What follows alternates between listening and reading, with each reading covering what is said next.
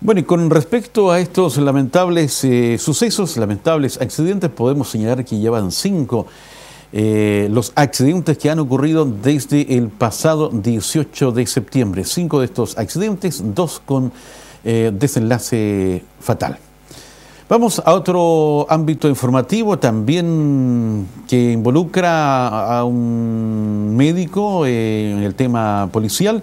Encuentran muerto justamente a un médico del hospital de Ancud por causas que actualmente se están investigando. Un accidente vehicular se produjo alrededor de las 17.30 horas de este martes en el sector de Mechay.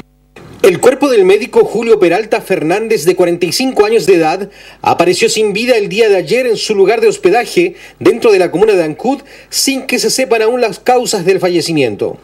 El profesional se desempeñaba en la especialidad de gineco-obstetricia del Hospital de Ancud, donde desde antes de su deceso había alcanzado a trabajar tan solo dos días y cuyo contrato sería extendido por un plazo de tres meses.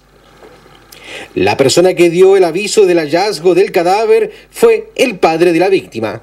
Bueno, nosotros nos contactamos eh, hace algunas semanas atrás con un, con un profesional médico, un ginecobstetra, que eh, vino a una, a una entrevista acá al Hospital de Ancud y llegamos a un acuerdo de que él eh, comenzara a trabajar hace algunos días atrás en el hospital.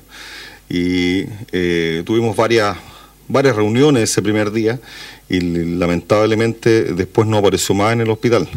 Y nos enteramos de que anoche eh, apareció eh, fallecido en una cabaña acá, en Ancud, lo cual para nosotros nos tiene absolutamente impactado ante esta, ante esta situación. Así que eso es lo que les puedo contar respecto a este tema. Es una situación absolutamente lamentable. No alcanzamos ni siquiera a enrolarlo en el hospital, no alcanzamos a tener mayores contactos. De hecho, muy poca gente acá en el hospital lo alcanzó a lo alcanzó a conocer. Tuve también una reunión con el padre del, del médico eh, y que nos, nos contaba esta lamentable situación. Eh, lamentablemente eh, sucedió esto, no estamos llenos nadie a. Así que la, la verdad que estamos totalmente impactados. ¿Fue contratado? No alcanzó a ser contratado en el hospital.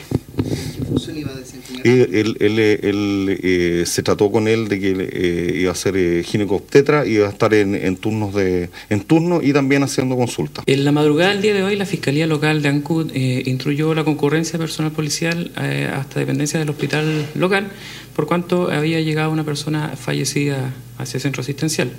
En virtud de lo cual, cierto, se concurrió al lugar, se procedió efectivamente a constatar de que había una persona fallecida, era un hombre de 46 años, y según los antecedentes que obtuvimos, eh, efectivamente correspondía a un médico que no es eh, de, la ciudad, sino que venía a prestar servicios eh, al hospital Tancud. se realizó el examen del cadáver, estableciendo de que no tendría lesiones atribuibles a terceras personas. los antecedentes fueron puestos a disposición de la Fiscalía Local, la que también instruyó de que el cuerpo pase al servicio médico legal para la autopsia correspondiente para establecer fehacientemente cuáles fueron las causas de su muerte. Eh, tengo que señalar de que la persona, eh, según la apreciación de nosotros, según los exámenes que realizamos, eh, podría haber fallecido producto de un, infarto, por lo que igual ¿cierto? no habría intervención de terceras personas. La persona estaba arrendando unas cabañas acá en la ciudad de Ancud y el día de ayer fue encontrado por, por su padre, que también estaba de visita en esta, en esta ciudad. Eh, no, bueno, las diligencias continúan, la Fiscalía, eh, se, remitieron los antecedentes a la Fiscalía, pero la Fiscalía determinará qué acciones vamos a seguir en cuanto a obtener mayores antecedentes de los motivos de la muerte, en cuanto se obtenga cierto, la causa precisa, la que será determinada por la autopsia de rigor.